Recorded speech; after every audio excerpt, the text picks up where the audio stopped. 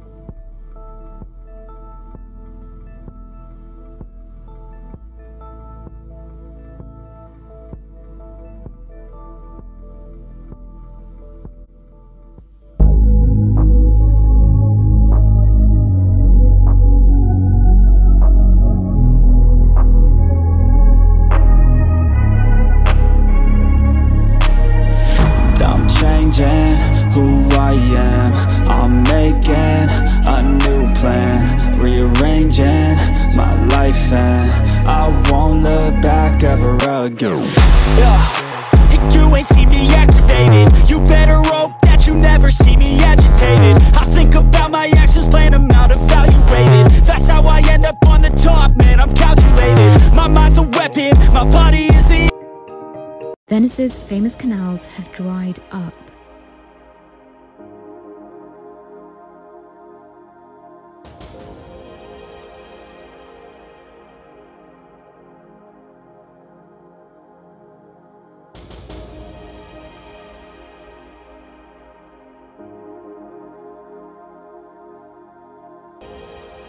Venice's famous canals water levels in the legendary canals of Venice, Italy have dropped to record lows. According to Venice's local tide monitor, have dropped to record lows. According to Venice's local tide monitoring authority, the water is 2.16 feet below average, with some canals running dry. The city of Venice is made up of 118 small islands connected by bridges and canals. Locals and tourists travel by gondola and boat through different parts of this UNESCO World Heritage Site. Severe drought and record high temperatures over the summer, combined with the Alps receiving less than half of its normal snowfall this year, have resulted in some Venetian canals not having enough water to float a boat. Water ambulances have reportedly had difficulty reaching patients. Beyond the environmental concerns, some who want to glide along Venice's canal. You know those canals that usually the gondolas ride in? Mm-hmm. They don't have much water. Look at this. Yep, you They don't have much water these days. The, the the whole thing is recording record low water levels on Sunday. The water only reaching a little over two feet in depth. Venice's traditional sailors and public transport they're experiencing major disruptions as a result. The local tide monitoring authority there is blaming the low water levels on dry weather and tidal changes. You know, we were talking this morning. Usually we hear about record flooding. Yeah. Mm -hmm. Now, this year.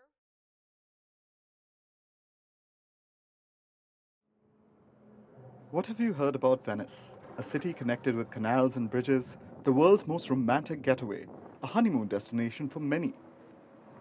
Venice stood out because of its canals, brimming with water as the gondolas navigated their way through the waterways. But this is what Venice has become now. Canals looking more like dirty ditches, the majestic gondolas beached, and people staring in shock. Venice has traditionally suffered the threat of floods. The canals which run through the city used to get inundated. That's not the case anymore. Why are Venice's canals running dry? Multiple reasons. Low rainfall, low tides, and the general trend of Italy's water cycle getting impacted by climate change. And this is happening in a place called the Floating City. Let's first understand the structure of Venice. This is a city which consists of many islands. These islands are separated by canals and connected by bridges. And if you want to go from one island to the other in Venice, you need to get on board a gondola. That's how people in Venice have been traveling since the 11th century. But this mode of transportation is now under threat. There are practically no roads that can act as a substitute. If the canals go dry, completely dry, Venice could come to a standstill. Here's why. This time, the Alps received half the snowfall they usually do, so rivers are running dry. The problem is not unique to Venice. This is a story all over Italy. Italian rivers and lakes are running out of water. Look at the Po River. This is Italy's longest river, and its survival is in danger. The Po now has 61% less water than it usually does this time of year. Why is the Po River important? Because areas around it account for a third of Italy's agriculture. Lake Garda has a similar story to tell. Water levels in the lake have reached a record low. Last year, the situation reached a dangerous scale. Italy was forced to impose an emergency in the area surrounding the Po River. The country's agriculture sector suffered a loss of $6 billion due to the drought. Italy can't afford a similar, or worse still, a greater hit. Because droughts don't just impact the farms, they also threaten drinking water supplies and power generation capabilities. This is the story of climate change, and it's a global story. France is experiencing its worst drought since records began in 1958. Almost 75% of Romania is impacted by droughts. Same story in Portugal. 99% of the country is said to be experiencing severe drought. The Horn of Africa is grappling with its worst drought in 40 years. According to a report from last year, 2.3 billion people in the world are experiencing water stress. By 2050, 75% of the world's population could be affected by droughts. For now, it's Venice in Italy. Soon, it could be your city and your country.